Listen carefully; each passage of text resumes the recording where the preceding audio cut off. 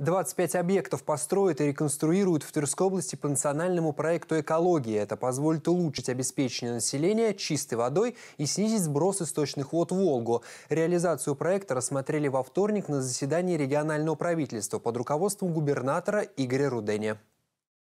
Задачами проекта «Экология» в Тверской области является сокращение выбросов в бассейн реки Волги, повышение качества питьевой воды для населения – для нас ответственная задача – содержать реку номер один в надлежащем состоянии. Это не просто символ нашей территории. Водный объект имеет ключевое значение для нашего дальнейшего развития, подчеркнул на заседании Игорь Руденя. Это а, проект федеральный, он был а, еще несколько лет назад а, запущен президентом Российской Федерации, председателем правительства, это Дмитрий Анатольевич Медведев возглавлял правительство. Это проект, к которому ушли много лет. И вот он уже вошел в практическую стадию.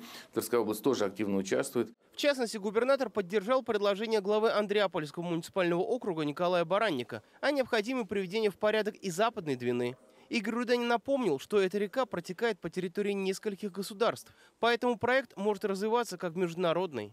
Всего в рамках оздоровления Волги запланировано строительство и реконструкция восьми очистных сооружений и систем водоотведения в восьми муниципалитетах. Это позволит сократить к 2024 году сброс стоков в реку на 62 миллиона 300 тысяч кубометров в год. Все работы разбиты на два основных этапа. Первый этап – это э, город Тверь, очистные сооружения, э, город э, Ржев, Конаково, Городня, э, соответственно, Старица и Торжок. Это вот э, основной перечень э, значит, городов, которые у нас принимают участие.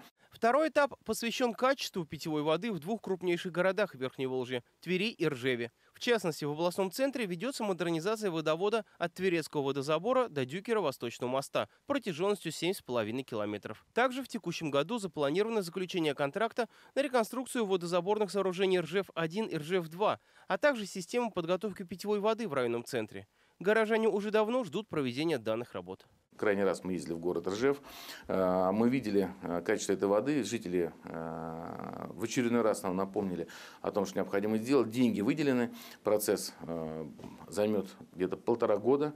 И Наша задача сделать, так сказать, достойное, достойное качество, хорошее по стандартам воды в городе Ржеве. Работы ведутся и в поселке Кесова гора. Здесь реконструируют водозабор и систему водоочистки.